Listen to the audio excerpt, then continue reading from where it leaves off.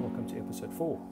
It's been a while, it's been a little bit quiet. I've had the odd Cape Cobra and puff adder here and there, and a mole snake in between.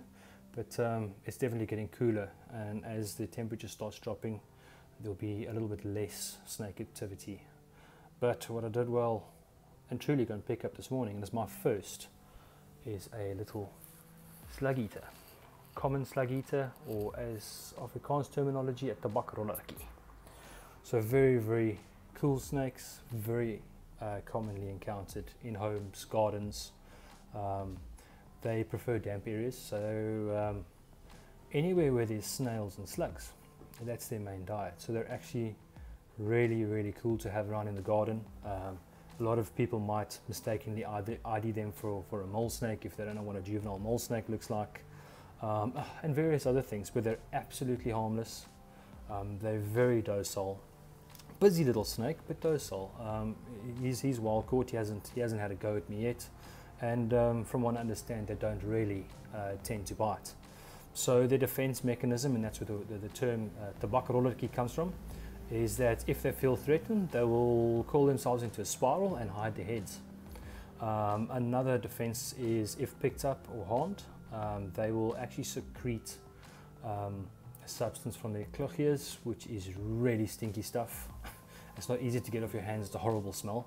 He hasn't done it yet, um, I suppose because I'm calm with him, he knows I'm not trying to hurt him, and as you can see, he's sitting quite happily in my hands.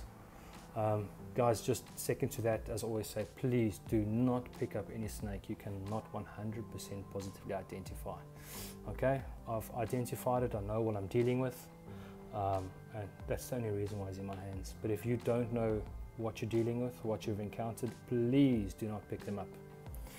Um, all right, guys, so as I mentioned, these guys live on, on snails and slugs. Wonderful to have in gardens, vegetable patches. Um, they prefer damp areas. That's where they'll be com most commonly found.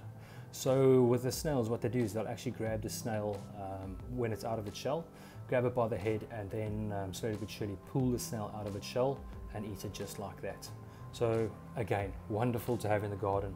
This is exactly where this guy's going. He's going straight into my garden. I've got so many snails here.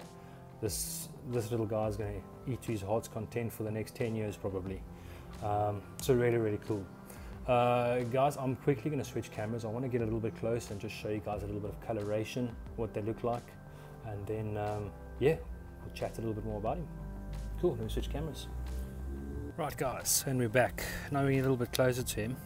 So something I want to point out. Have a look at um, the very light black speckling that runs between the, the, brown on the top of his body and almost that uh, like a greyish green. That's a very common colour in the Western Cape. Uh, the colour might vary from region to region, so make no mistake with that. But this is the general colour we find them in over here. Very, very small heads. Beautiful, beautiful little snakes. Absolutely harmless, as I mentioned.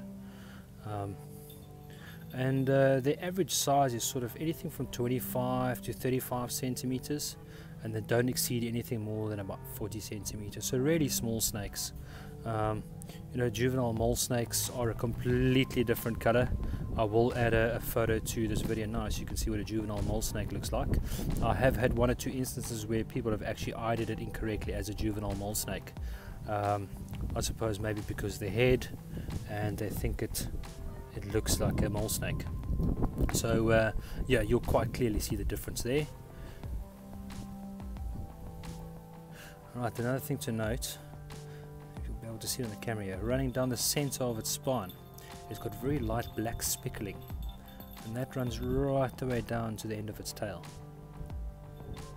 Very easy to identify, very small snakes and uh, absolutely fantastic to have in the garden. So uh, yeah, I think let's get to it. I'm going to let him off in my garden. You can go have a feast and an absolute ball. Let's quickly set him off. There we go, little guy. Off you go.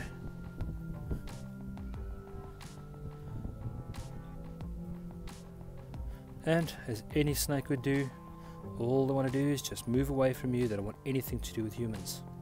So, uh, guys, I think that's it on the slug eater. I think it's going to be very happy in my garden. Um, until the next episode, take it easy, be safe, and always call your local snake catcher if you do encounter something. Cheers, guys.